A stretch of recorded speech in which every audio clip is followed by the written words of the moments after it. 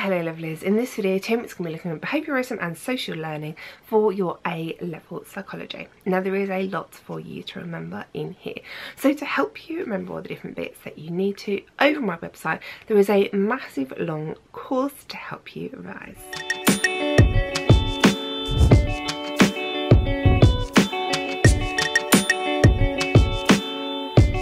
Social learning theory is often abbreviated to SLT and the basic principle is that we learn behaviours by observing other humans around us.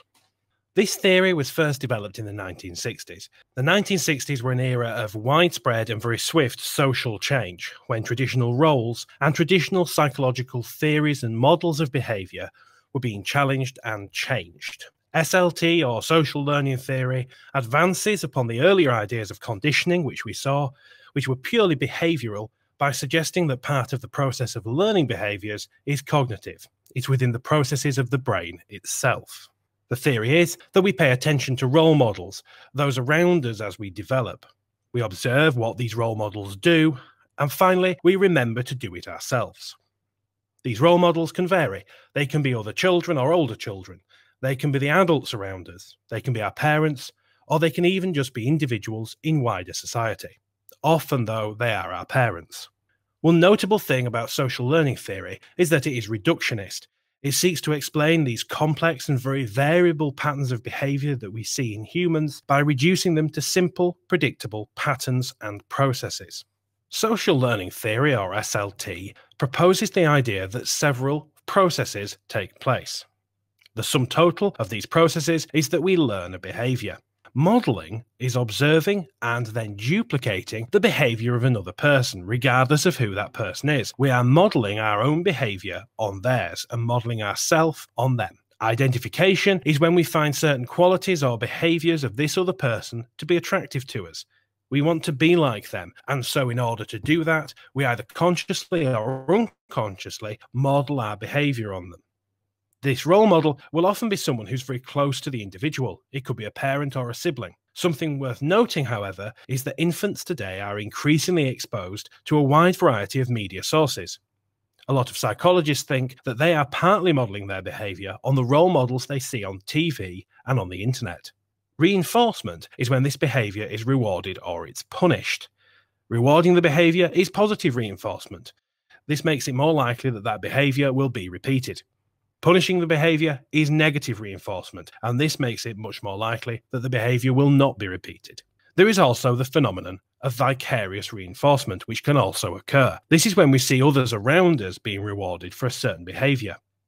We then repeat this behavior ourselves in the hope of receiving a similar reward. Aside from behavioral processes, SLT or social learning theory also states that several cognitive processes need to happen. These are processes within our brains that allow us to copy and then repeat this behavior. And there are four of these. The first is attention. We need to pay attention to those around us in our immediate social group or proximity, especially anybody that we've identified as a possible role model. Once this role model has been noticed or identified, we then need to pay full attention to their specific displayed behavior. The second is retention. We need to be able to retain or remember this behavior for us to be able to replicate it at a later date. Sometimes this has another name, it's known as encoding. The third is reproduction. We then assess our ability to actually physically reproduce the behavior. If we think we can replicate it, we are more likely to try and do so. If we see behavior that we don't physically or mentally have the ability to replicate, we're much less likely to try and do so. The fourth and final is motivation. We assess the results of trying to replicate the behavior. If the response to our replication has been good or positive, or we've been rewarded, we're likely to replicate it again. This is known as positive reinforcement, something we've already seen. However, on the other hand, if the response has been bad or we've received some sort of punishment, then we're very unlikely to try again, a process of negative reinforcement. Bandura, leading a group of researchers back in 1961, conducted this experiment to try and see how children, in particular, are influenced by the behavior of adult role models and how or if they might try to replicate the behavior that they've seen. This experiment was done with a total of 72 children, 36 boys and 36 girls. All of them were around four to five years old, with an average of four and a half years old, or about 52 months. These children were then placed into groups, and this placing was done on an assessment of how aggressive they had been in their nurseries. Sometimes this way of doing it is known as a matched participant groups design. The children were placed into three groups. The first group observed adults playing aggressively with a doll. They were striking it and hitting it with a mallet and exhibiting generally aggressive or anger filled behavior. The second of the three groups observed a group of adults playing non aggressively or passively or peacefully with other toys instead of the doll. They completely ignored the doll in the room. The third of the three groups was a control group. They didn't observe any adult behaviours at all, and this was done to establish a baseline of how children behave with no other influences. Following this, each child was then placed in a room with a doll, a mallet, and a range of other toys. Their behaviour was observed. The first group, who had witnessed aggressive behavior by adults, replicated a great deal of that aggressive behavior. They tried to strike or hit the doll with a hammer.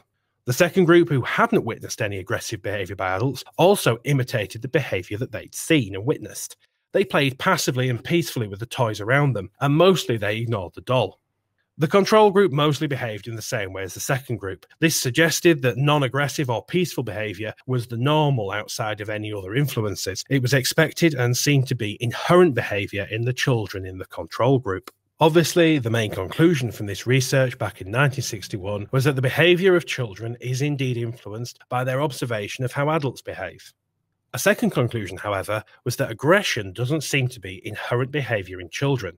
For them to become aggressive, that behavior has to be learned through observing adults as role models and then replicating that behavior. So, this experiment provided some evidence for SLT, social learning theory.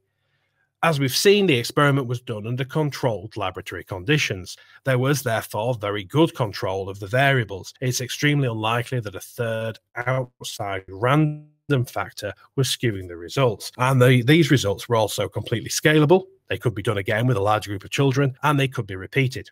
The sample size of 72 children is relatively large, but they were all from similar cultures and from a similar geographical area, so it might not be possible to generalize the conclusions.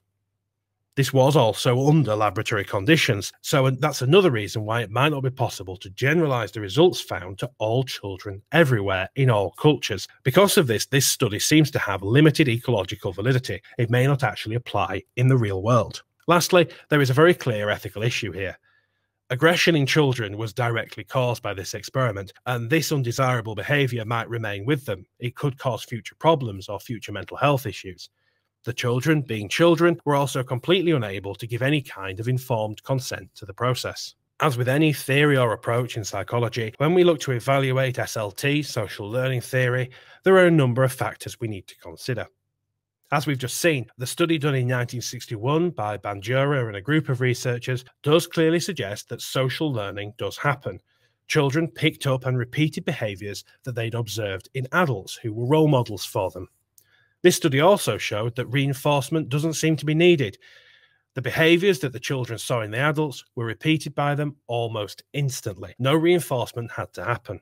One small but important flaw in the whole experiment is that the type of dolls used were actually designed spe specifically for aggressive and heavy handed play. You were supposed to strike them or hit them with a hammer. That was their purpose, it was what they were for. It's also possible, since the children had observed adults, that they were simply showing obedience to a social norm rather than actually learning the behavior. Being children, it's impossible to tell. It's also possible that there may have been an observer effect. The children may have become aggressive because they knew they were being observed. This experiment seems to show that children are influenced by nurture, and we'll look in a later video at the nurture versus nature debate. But there are also behaviours which we know are inherent, they're caused by evolution or genetics. Behaviors can be repeated long after they've been learned, and this makes it completely impossible to conclude that they have been learned entirely through observing one role model. This may just be conformity to wider social norms. Some of these children might have been aggressive anyway.